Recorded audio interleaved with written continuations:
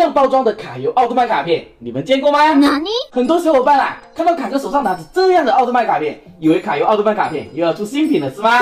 其实它们是超级少见的超绝版奥特曼卡片哦。它的名字叫奥特英雄怪兽争霸，哈哈，是不是超级特别，勾起了你的好奇心呢？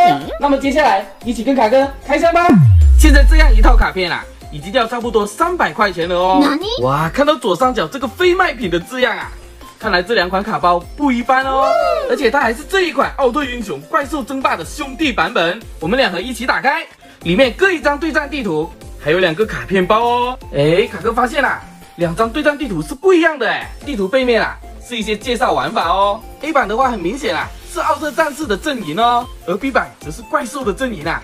我们先看看 A 版，第一张是封面卡，修行甲赛罗。这一张卡片跟普通的卡片背景不一样啊，哇，背后还有一个赛罗呢，可见这一张领袖卡哇是超级稀有的哦。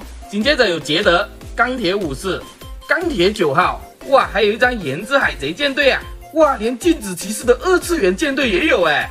后面的飞船哇也是超级炫的哦。这一张红眼的哇，禁止骑士暴走形态。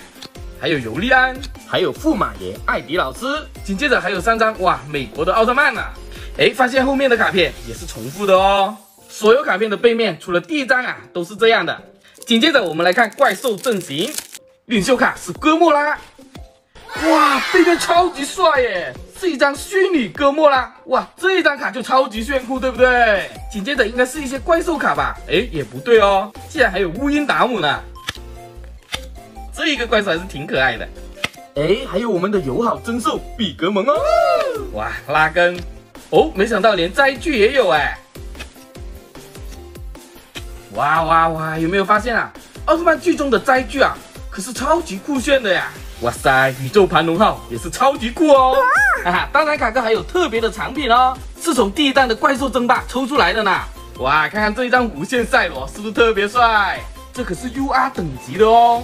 另外的话，哇，这一张超稀有的英雄卡艾克斯超越型卡片，不但带有拉丝的镭射效果，右边可是极其稀有的哇烫金精致哦，背面则是一个超酷站姿的艾克斯啊。